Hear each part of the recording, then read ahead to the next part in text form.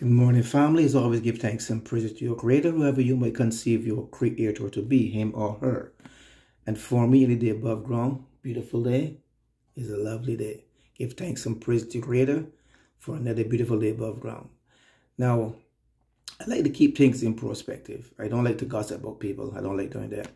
But I like to look at things from a different point of view and, and speak on it from a different point of view. Now, the Braxton sister that gets passed all respects to her, my deepest sympathies to the family and to her. I respect them for that. But I was thinking about this and I'm saying to myself, well, I was made to understand allegedly that they really didn't like her. They said she couldn't sing. And whenever she speak, they would always shut her down and always talk down to her all the time. She was, they were known for doing that, as far as we understand. She wasn't really well liked by the family or by them, as far as we understand. But now that she is passing, or she's passed, like I said, my deepest sympathies. I was saying that uh, I think the family was saying that they respect the privacy of the grieving of their family member and they would like to keep their, their privacy, you know, away from the public.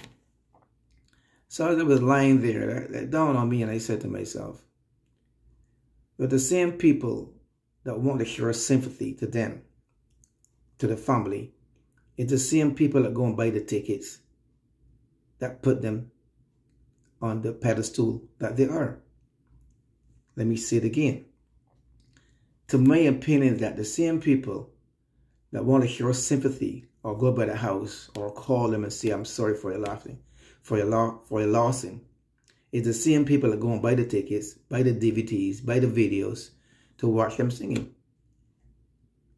So if you're going perform in a whole group of people and go and get dressed up to watch people see you singing and shouting and screaming your name.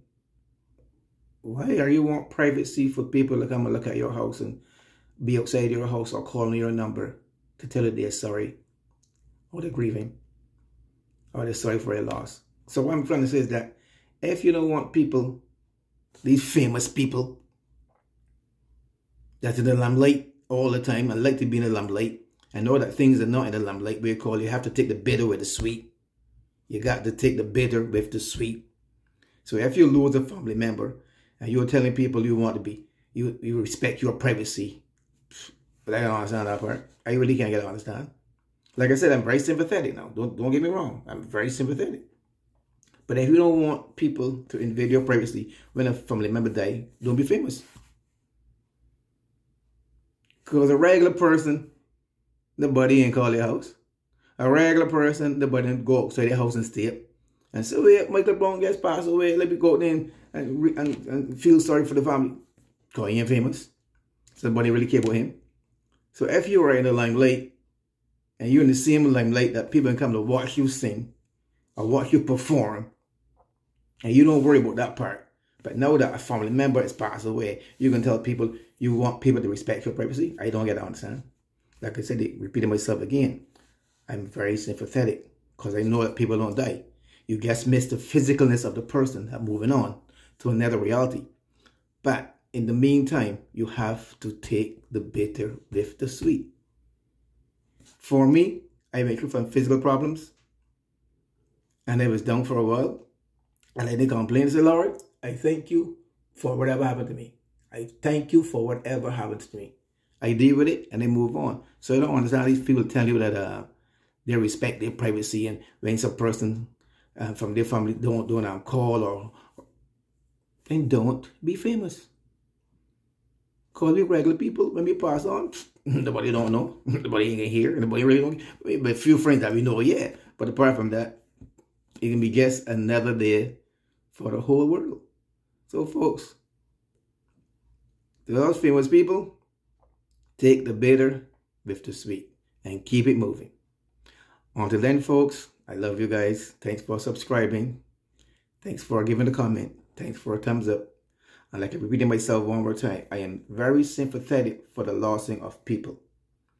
But like I know on my research, as years go by, we do not die. You only will miss the physicalness of the person the interaction with the person, the hanging out with the person. You miss that. You have that thoughts about that person. So that's why you always have pleasant thoughts about people that when they pass, we get smiley.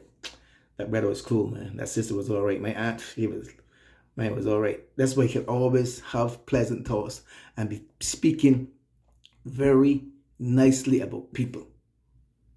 And like I said before, I keep saying, if you come across any person that's judgmental or criticize or condemn, leave that person alone because you want to have a good memory of all people. You will have some people, yes, those people that want to come into your life that want to be always miserable, you leave them alone. And if they happen to pass, like it's all good. It's all good. Until then, folks, be loving, be kind, be giving, be caring, be considerate, be appreciative, and show gratitude. Always show gratitude. I love you guys now. Until then, peace out. One love.